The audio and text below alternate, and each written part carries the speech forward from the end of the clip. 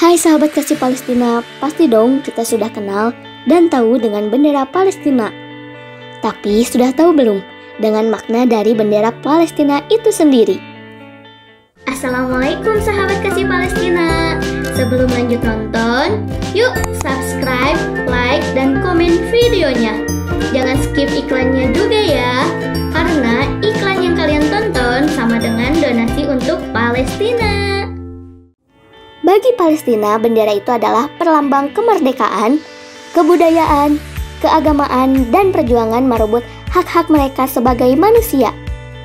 Bendera empat warna dengan segitiga di sampingnya ini telah digunakan pada Perang Dunia I oleh dunia Arab yang bersatu melawan kekhalifahan Ottoman Turki demi membentuk negara sendiri di Zazirah. Tiga garis persegi panjang dan satu segitiga dengan warna berbeda mewakili dinasti Arab yang beragam saat itu. Beberapa negara juga menggunakan bendera yang hampir mirip, seperti Sudan dan Yordania. Namun urutan warnanya berbeda.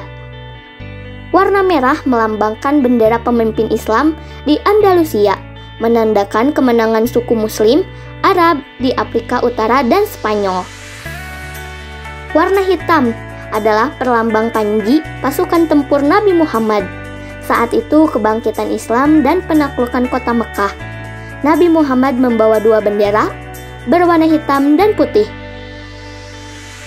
Bendera putih bertuliskan kalimat tauhid, sedangkan hitam digunakan sebagai ikat kepala para komandan perang. Warna putih adalah bendera dinasti Umayyah yang memimpin Damaskus selama 90 tahun. Putih adalah warna simbol perang Badar. Berbeda dengan dinasti Abbasiyah, yang menggunakan bendera hitam sebagai tanda berkabung. Dinasti Umayyah menggunakan warna putih.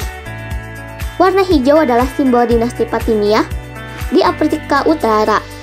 Hijau digunakan sebagai pelambang kesetiaan dinasti itu terhadap Ali bin Abi Thalib.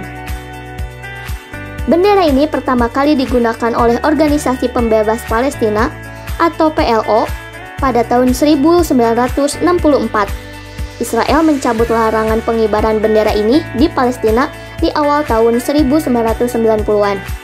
Nah, gimana nih sahabat kasih Palestina? Udah tahu kan makna bendera dari Palestina?